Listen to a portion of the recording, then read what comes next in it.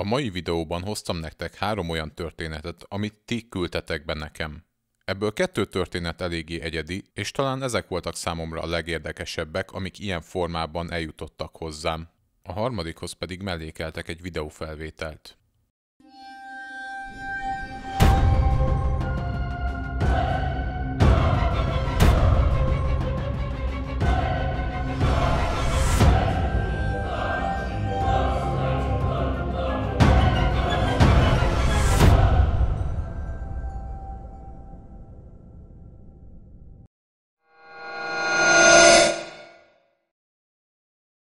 Az első történetet az ausztráliai Queenslandből küldte be egy Roman álnéven író feliratkozó. Bevallom őszintén, ehhez foghatót még nem hallottam korábban, pedig nekem aztán sok ilyen jellegű történettel volt szerencsém találkozni. Valamikor 2020 elején Roman az egyik helyi bevásárlóközpontban vásárolt, amikor is az egyik sarkon befordulva megpillantott egy megközelítőleg három méter magas embert, vagy legalábbis valami erőteljesen emberszerűt. Roman a lényt úgy írja le, hogy az arcáról nem lehetett eldönteni, hogy férfi volt-e vagy nő. Ennek ellenére nagyon izmos karjai és szombjai voltak, és egy pillanatra azt hitte, hogy valami testépítőt lát. A lénynek fekete haja volt, amit ebben a középkori szerzetesi fazonban hordott. A bőrének színét Roman úgy írja le, hogy ezüstös. A lény egy fekete testhez álló ruhát viselt, széles bőrövvel, aminek a közepén egy nagy korong alakú forma volt látható. Azonban nem a lény megjelenése volt a legfurcsább az egészben, vagy a magassága, vagy az, hogy egy bevásárlóközpont kellős közepén botlott bele, hanem az, hogy voltak még ott emberek a lény körül, és mégis egyikük sem nézett rá. Mint a Románon kívül mások nem is tudták volna észlelni őt. Román egy ideig megrökönyödve bámult, majd egy pillanatra félrenézett, és amikor visszapillantott, a különös lény már eltűnt. Pár nappal ezután az eset után Roman az egyik rokonával autózott, amikor is félreálltak, hogy megnézzék a GPS-t. Amint megálltak, az autóvezető melletti ablak hirtelen minden előzmény nélkül egyszer csak berobbant az autó belseje felé. Roman rokonának azonban szerencséje volt, és apróbb sérülésekkel megúszta az egészet. Továbbá abban is szerencséjük volt, hogy nem a vezetés közben történt ez az egész. Különben lehet nem úszták volna meg ezt ilyen olcsón bár valami azt súgja, hogy ennek semmi köze nem volt a szerencséhez.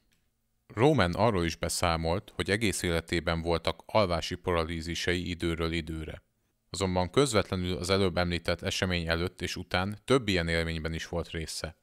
Röviddel a bevásárlóközpontos incidens előtt arra ébredt, mintha közvetlen közelről egy kutya belevakkantana a fülébe, vagy valami robbanásszerűséghez tudná legjobban hasonlítani a hangot. Máskor egy tudatos álma volt, amiben valaki ránehezedett a melkasára, és ő fuldoklott közben. A bevásárlóközpontos esetet követően pedig egyik éjszaka arra ébredt, hogy egy magas fekete entitás áll az ágyának a végénél.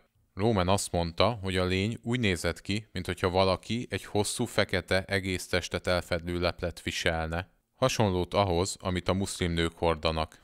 Nos, amennyiben mindaz, amit Roman nekem írt igaz, Adja magát a kérdés, hogy ezeknek az eseményeknek van-e köze egymáshoz. Valami azt súgja, hogy igen.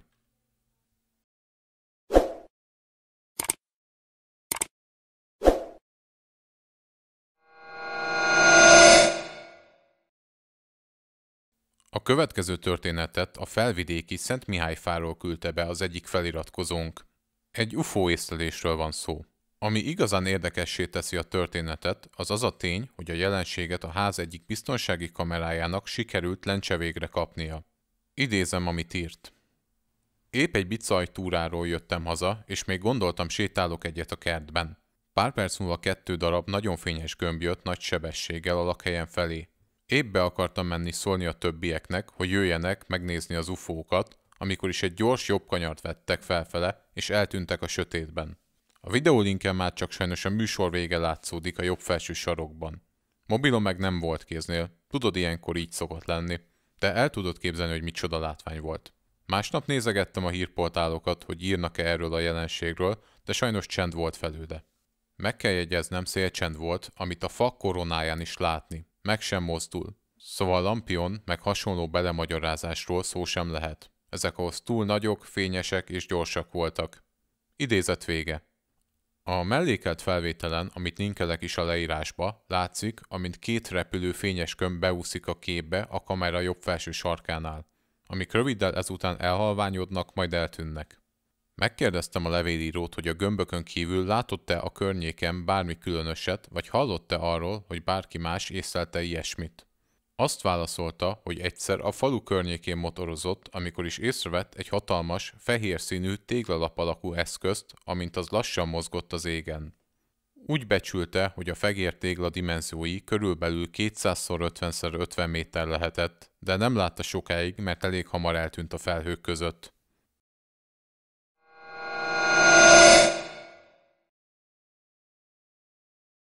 Az utolsó történetet egy Viking School nevű felhasználó osztotta meg az angol csatornámon a Magellan óriásai videó alatt lévő komment szekcióban. School állítása szerint, amikor 14 éves volt, egyik éjszaka az otthona körüli mocsaras erdős részen hallotta, amint valami épp szalad az irányába a sekély vízben. Volt ideje arra, hogy zseblámpáját előszedje és odavilágítson a hang irányába. A kommentelő egy állatra számított, amit azonban akkor megpillantott, azt legjobban a manó szóval lehetne leírni. A lény előtte szaladt át, körülbelül 15 méteres távolságra, ezért csak az oldalát látta. Skull leírása szerint a körülbelül 70-90 centi magasságú emberszerű alaknak szőke haja volt, az embereknél hosszabb hegyes óra és füle, valamint koszos, szürkés bőre volt. Picit hasonlított gólamra a gyűrűk urából. Ruhákat tekintve hegyes-vörös sapkát, újatlan koszos világos pólót és barna bőrnadrágot viselt. Továbbá úgy látta, hogy ennek a lénynek volt cipője is. Biztosan vannak most köztetek páran, akik azt gondolják, hogy ugyan már manók, óriások, vérfarkasok és űrlények még rendben vannak, de manók, az már nem hihető. Ez a hozzáállás teljesen érthető, és semmi gond nincs ezzel. Azonban én is éltem már át olyat, amit a legtöbb ember nem hinne el. Ennél fogva aztán nem tartom jó ötletnek csuklóban elutasítani valakinek a sztoriát, csak azért, mert az nehezen hihető. Na de vissza Viking Schoolhoz. A komment szerint az észlelés utáni reggelen visszament arra a részre, ahol este az entitást látta, és elmondása szerint körülbelül apró, 10-13 cm hosszúságú lábnyomokat talált a földön.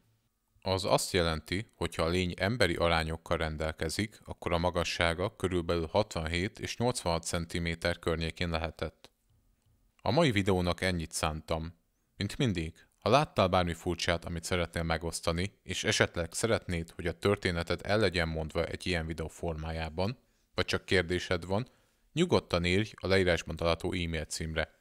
Ha pedig eddig megnézted a videómat, akkor azt köszönöm szépen.